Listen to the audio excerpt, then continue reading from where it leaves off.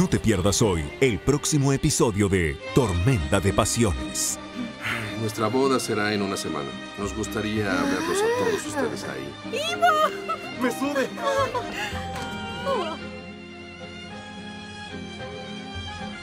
Te ves hermosa.